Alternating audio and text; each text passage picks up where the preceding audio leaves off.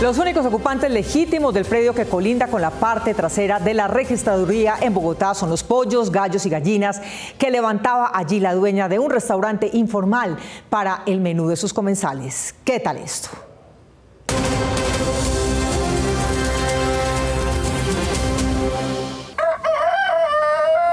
Este clan de aves de corto vuelo es el único que puede ejercer reales derechos de dominio sobre este predio de 5.800 metros cuadrados en el Centro Administrativo Nacional CAN. 30 años después de que el viejo Ministerio de Obras Públicas y Transporte cediera a la Registraduría Nacional del Estado Civil sus derechos sobre el predio y de que una mujer estableciera un restaurante improvisado para los obreros, la propiedad hace parte de un litigio en el que por el momento solo ganan las gallinas.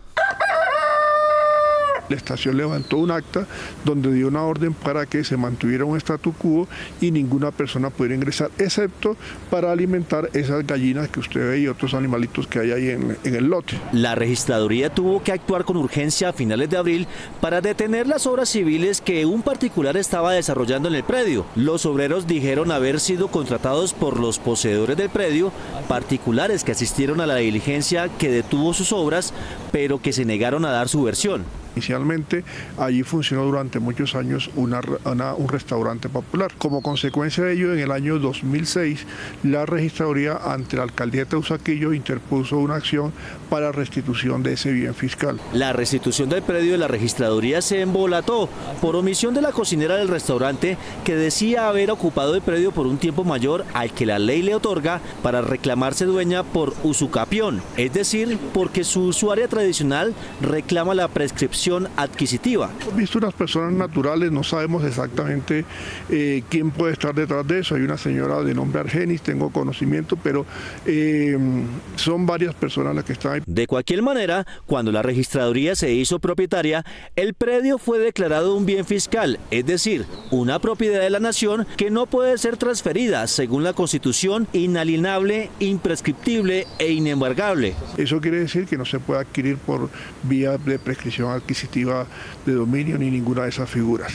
Eh, además de eso, ante el juzgado 50 civil del circuito existe un proceso reivindicatorio y estamos pendientes del fallo. Los supuestos compradores de los derechos de la cocinera de los obreros están en litigio desde hace 18 años en un juzgado y aprovechando la inactividad de ese despacho judicial, unos extraños esperaban construir. De marzo para acá la situación ha cambiado en la, en la, medida en que empezó a ingresar maquinaria pesada.